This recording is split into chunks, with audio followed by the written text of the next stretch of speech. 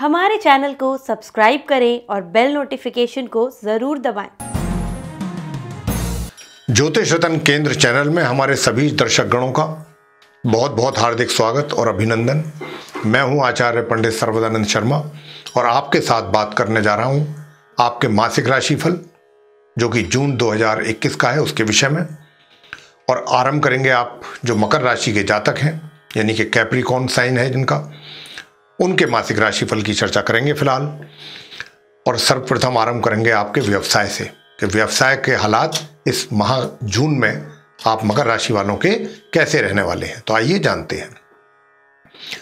देखिए, जहाँ तक आपके व्यवसाय का प्रश्न है तो आपके व्यवसाय के जो लॉर्ड हैं, करियर के जो लॉर्ड हैं, वो शुक्र हैं। और शुक्र अपने मित्र के घर में बैठे हुए हैं, लेकिन षष्ठ भाव में बैठे हुए हैं। और यहाँ पर बैठने से बहुत विशेष परिणामों की प्राप्ति आपको हो जाए इस माह, इस प्रकार की उम्मीद आपको नहीं करनी चाहिए। सामान्य रूप से भी अगर चलता रहे तो बहुत बड़ी बात।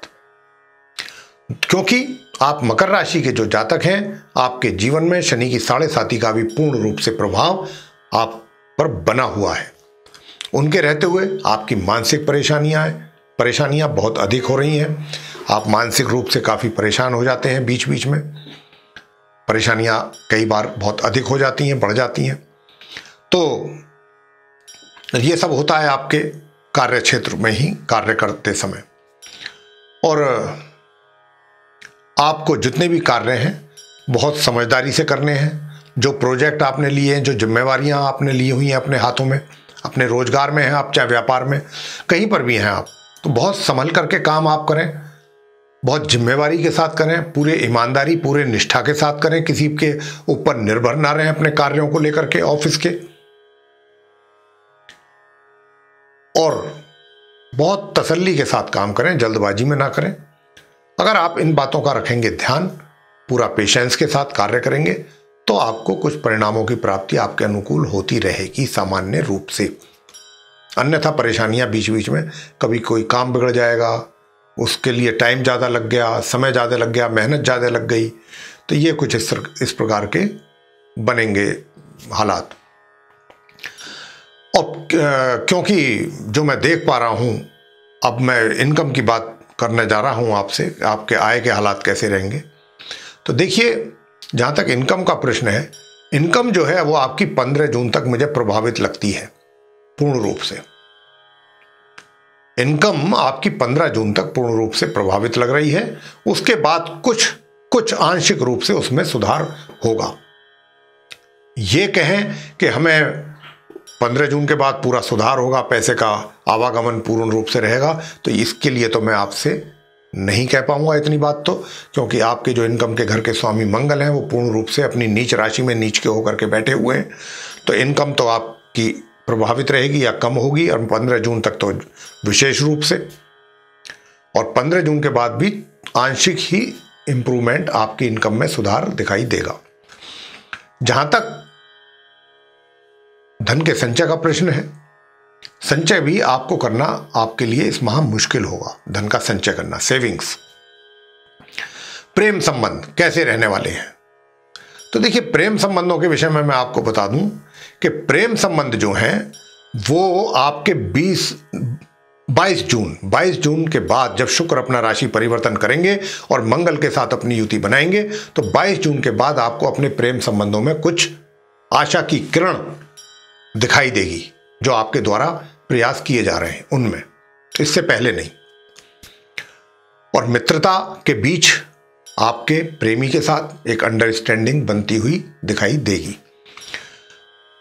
विवाहित व्यक्ति जो है, पुरुषों या महिला, उनका वैवाहिक जीवन काफ़ी प्रभावित होता हुआ दिखाई दे रहा है इस पूरे महा मंगल के कारण, क्योंकि मंगल वहाँ पर नीच के होकर के बैठ रहे हैं।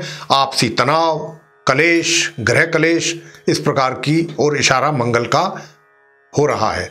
तो आप महिला हैं या पुरुष, इतना ही कह सकते हैं आपसे कि आप बहुत ही समझदारी के साथ, अपने स्पाउस के साथ बर्ताव करें बिहेव करें। छोटी सी भी एक बात बड़े झगड़े का कारण बन सकती है। बहुत होशियार रहना पड़ेगा, बहुत समझदारी से आपको, अपने रिश्ते को कायम रखना पड़ेगा।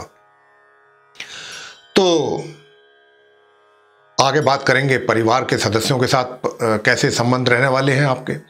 देखिए, परिवार के संबंध पारिवारिक संबंध जिसको कहते हैं, वो भी सामान्य ही रहेंगे। कभी थोड़ा नीचे, कभी ऊपर, कभी नीचे। उतार चढ़ाव आता रहेगा। इस प्रकार के संबंध आपको देखने को अपने परिवार के सदस्यों के साथ मिलने वाले हैं। और छात्र लोग, भाई छात्र लोगों को लेकर के मैं कहना चाहता हूँ कि उनकी शिक्षा को लेकर के थोड़ी परेशानी मुझे हो रही है, जो मैं ग्रहों की स्थिति देख रहा हूँ, कि आपको इस महानिराश ना होना पड़ जाए अपने परिणामों को लेकर के शिक्षा संबंधित। तो बहुत सचेत रहें, काफ़ी सचेत रहने की आवश्यकता है। और संतान की जहाँ तक बात है, संतान भी कुछ अच्छा प्रदर्शन उनका नहीं रह पाएगा। उनको लेकर के माता पिता की चिंता पूरे माह बनी रहेगी। स्वास्थ्य कैसा रहेगा? देखिए, स्वास्थ्य की जहाँ तक बात है, स्वास्थ्य की अगर मैं बात करूँ तो स्वास्थ्य जो है आपका, वो थोड़ा सा ऊपर नीचे चलेगा। स्वास्थ्य में भी उतार चढ़ाव रहेगा। ओवरऑल तो ठीक रहेंगे, लेकिन थोड़ा बहुत उन्नीस इक्कीस चलता रहेगा। ये रहेगा। उपाय क्या करें? उपाय करें आप, मंगलवार के दिन हनुमान जी के मंदिर में जाएँ, संध्या समय, वहाँ जाके तेल का दीपक जलाएँ, प्रसाद चढ़ाएँ, मीठे का बूंदी का, बेसन के लड्डू का, और हो सके तो गुलाब के फूलों की माला चढ़ाएँ,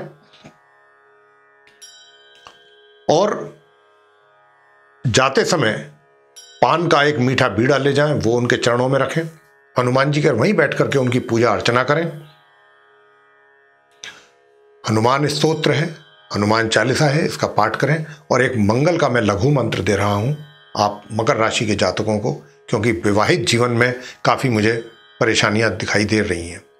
मंगल बहुत परेशान करने वाले हैं इस जून में आपको, विवाहित व्यक्तियों को, मकर राशि वालों को। तो एक आपको मैं लघु मंत्र दे रहा हूँ मंगल का। ओम अंग अंगारकाय नमः, ये है मंत्र। इसका एक माला या तीन माला आपने डेली करना है, प्रतिदिन करना है, पूरे माह। और शनिवार के दिन, क्योंकि आपके ऊपर शनि की साढ़े साथी का भी पूरा प्रभाव बना हुआ है तो आपने क्या करना है कि शनिवार, प्रत्येक शनिवार को शनि मंदिर जाएँ, वहाँ जाकर के शनि महाराज की प्रतिमा पे सरसों का तेल चढ़ाएँ, वहीं बैठ करके शनि महाराज की पूजा अर्चना करें। शनि के मंत्रों का जाप करें। ओम शम शनिश्चराय नमः। ओम प्राम प्रीम प्रोम से शनिश्चराय नमः। ये हुए मंत्र।